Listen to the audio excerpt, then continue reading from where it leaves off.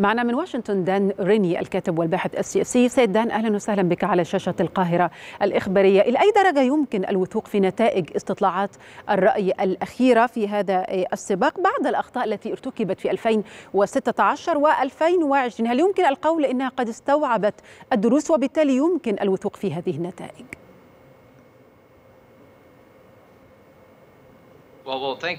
شكرا جزيلا لاستضافتي اليوم من أجل الحديث عن هذا الأمر المهم. نعم في حقيقة الأمر أنا لدي شكوك كبيرة بشأن أي نتائج لاستطلاعات الرأي. لا يمكن لأي طرف أن يتوقع ما يحدث في الانتخابات الفعلية. هناك الكثير من الاستطلاعات وهناك الكثير من النتائج. وهناك تضارب كبير وهناك فوارق وهناك تقارب. فبالتالي هناك تناقضات كبيرة في الساحة السياسية الآن.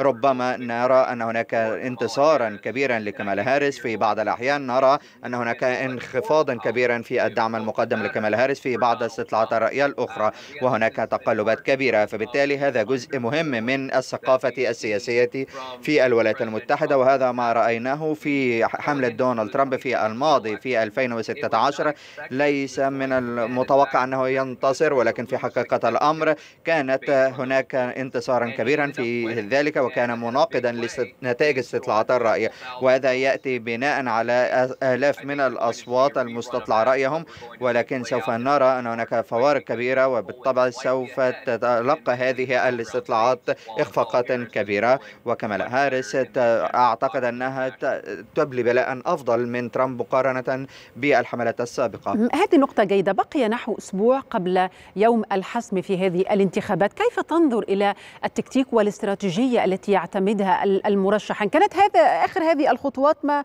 التجمع الانتخابي الذي كان في دونالد ترامب في ماديسون سكوير جاردن في نيويورك. هذا المعقل الديمقراطي الذي يراهن على حصد أصوات فيه. وفي المقابل هناك ولاية متأرجحة تتجول فيها كاملا هاريس وتستهدف لا سيما السود واللاتينيين في بنسلفانيا.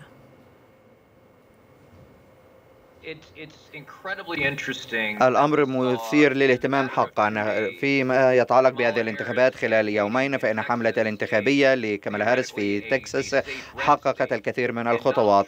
ودونالد ترامب وحملته الانتخابية في نيويورك على النقيض حاولت الحصول على الدعم. ولكن في ظل هذه التوترات وكل هذه التصويتات وهذه الاستطلاعات المتعاقبة أصبح هناك تضارب كبير فيما يتعلق بالدعم لا أعتقد أن كمالا هاريس لديها أي فرصة للفوز بولاية تكساس وترامب ليس لديه فرصة لكسب نيويورك.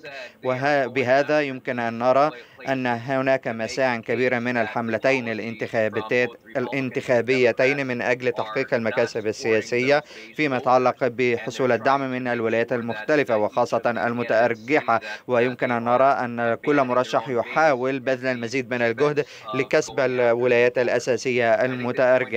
وهذا سيكون هو مضيعة للوقت من كلا الطرفين.